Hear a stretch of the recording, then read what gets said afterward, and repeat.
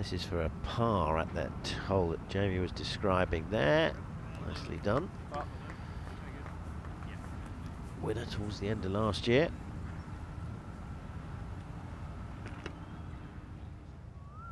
Yannik Paul putting for an eagle. He already, he's already eagled the second today, the first of the par fives. Can he do it again? Oh, yes, he can. Unbelievable stuff from Yannik Paul. He's six under for his round after seven holes. Didn't he eagle three holes when he won that tournament at the end of the year last year? Yeah, I think that's he ringing a eagled bell three now. holes Yeah, yeah. on that final round. Pin back right. Most players here will be between a seven and a six iron. Probably came out of that because we're looking 20 yards short. Right. All pars so far for Molinari. Not for this man. A couple of eagles and birdies. Six under here is uh, after seven, but trouble here getting up and down. Nearly, nearly. But he's what, 25 yards wide of that green from 170. So it's a big wide, but a chance to make his putt.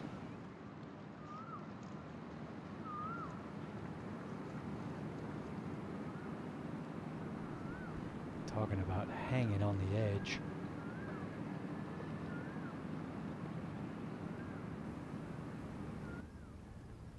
There's the ninth green. Somewhere back there is Germany's Yannik Paul, who's already made a couple of birdies and a couple of eagles, but he's just dropped a shot at the eighth. I can't wait for him to eagle another hole and see someone come out with that stat.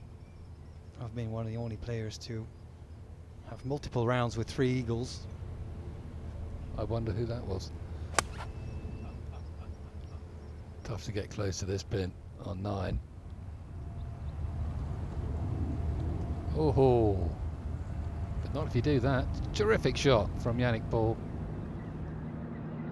Well, he's had two eagles and two birdies already, just bogeyed eight, so some round of golf he's putting together. This to go out in 30. Just hangs on. Brilliant start for Yannik Paul. And he climbs back into a share of the lead with Robin Sciot-Siegrist. Great front line. Yannik Paul makes the turn.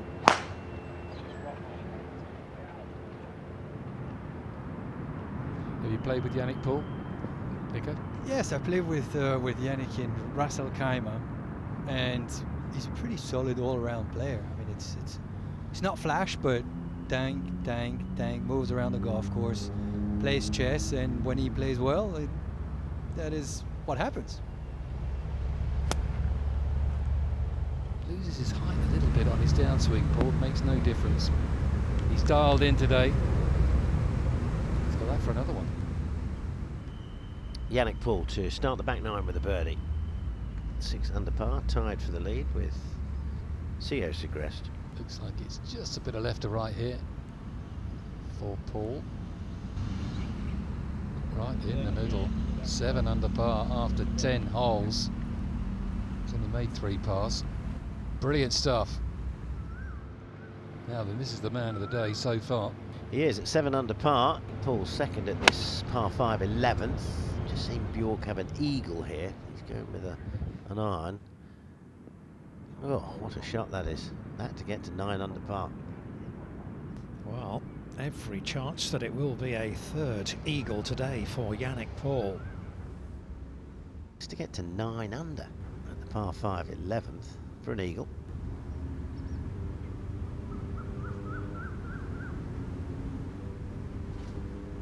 Never up, never in, Dom. No, not really running at the hole, was it? However, it is going to be a very simple birdie, and he's going to get it to eight under. And Yannik Paul moves two shots clear at the top. That's a good card. Look at that with the drop shot in there as well at the eighth. Right, looking back towards the uh, 14th tee. Tough hole this one, Ewan. Yeah, it's not an easy tee shot, Dom. Dogleg left, but the wind is down off the player's left. Those fairway bunkers there that start at 310 on the right, they're in range. If you can hit it about 320, 325 and straight, you can catch a speed slot in the fairway. Hand off club. Sometimes made bad, but not always. I don't think it's made its way into the uh, the real thick stuff, but it looked like it was on a little bit of a downslope. Yeah, it's a little bit of an awkward one here, Dom. 151 to the front, 174 back to the flag. It plays three yards downhill, and it's quite a narrow entrance to this green. Looking to land this in the front half of the green and try and release it up. If it doesn't release, that's fine. Underneath the hole here is okay. Top end to get to this 14th today. Oh, well, depends on the lie. Looks like it's just below his feet there for Yannik Paul, smiling away. Yeah, perfect lie. These bunkers and the green surrounds are immaculate. This is not a difficult shot back into the breeze. Super shot. Very good for Yannik Paul. All going according to plan. Yannik Paul to tidy up for the sandy save. Oh, mistake. Yannik Paul, second hardest hole on the golf course, but he should have made his par there after that really good bunker shot. One step back. Joint leader now with Valimaki. Par five to come. To the 16th tee, and Yannik Paul. Another good par four, 478 yards this one.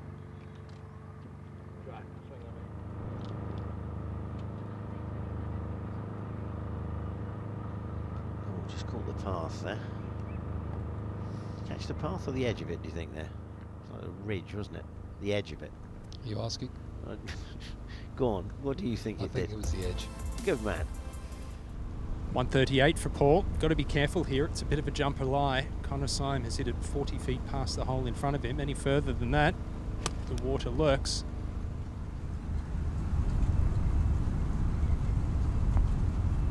Yeah, I think he was aware of that. Very easy swing from Yannik Paul, not threatening the hole. You can see from where he was playing there, it looks like an infinity green there. It's a slow one, this one, Dom. Not easy to make yourself hit it hard enough back into the green and uphill. Yes, you can see the different coloration of green there and uh, spot on you, and that was it's about five, six feet short from there. It's just looking a little bit edgy all of a sudden at the end of his round. It, going along so well. Uh, missed par on 14 just stopped him in his tracks.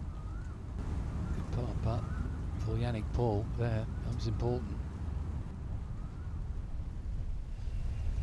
Let's go back to the 17th tee. This time Yannik Paul.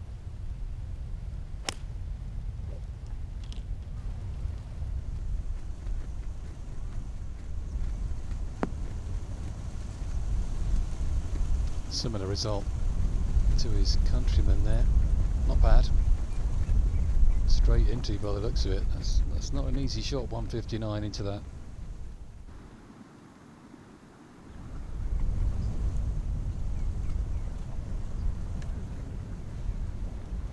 Well, left to right to start with and then goes right to left at the end. It's a difficult one to judge. Up the slope and then down towards the hole. Not par though for Paul.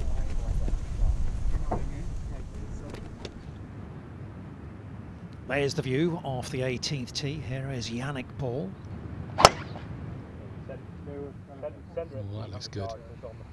Looks like a bullet down there.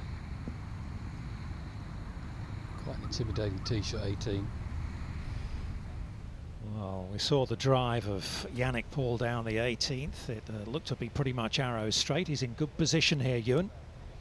He certainly is, Dom, and what an intimidating final hole this is back into the breeze. Picture perfect tee shot from Paul. 196 to the flag, tucked on the front left.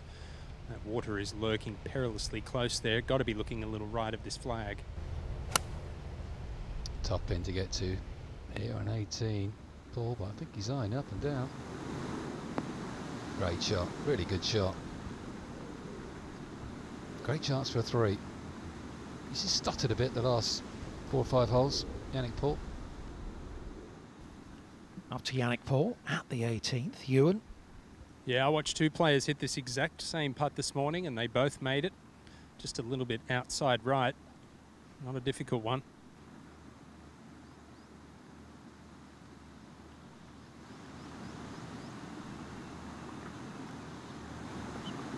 They just stalled a bit over the closing six or seven holes, didn't he, having got off to that fast start.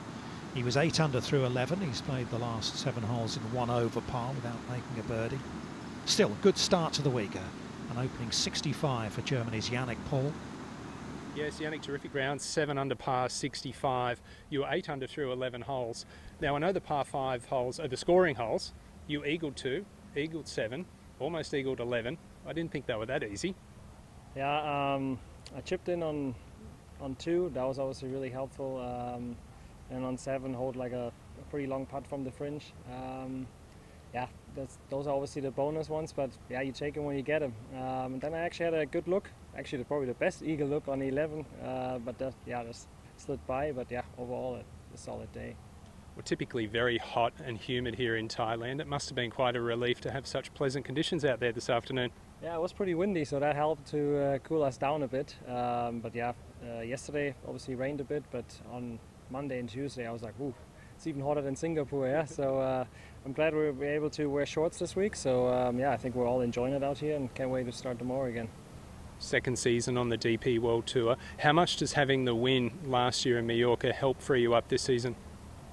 Yeah, definitely. But yeah, at the beginning, um, first couple events, expectations were obviously really high, um, and yeah, there's a bit more noise now and stuff. So I'm just, I think I, it was really a valuable lesson for me to just kind of focus on myself um, and just kind of do my own my own thing. Um, so just you know, that's kind of what I learned the last couple of weeks. So I'm just trying to focus on that, and then hopefully, yeah, get back into the winner's circle at some point. Well, I'm sure you will with rounds like that. Congratulations and good luck tomorrow morning. Thank you. Appreciate it. To watch another DP World Tour video, click here, and to subscribe, click here.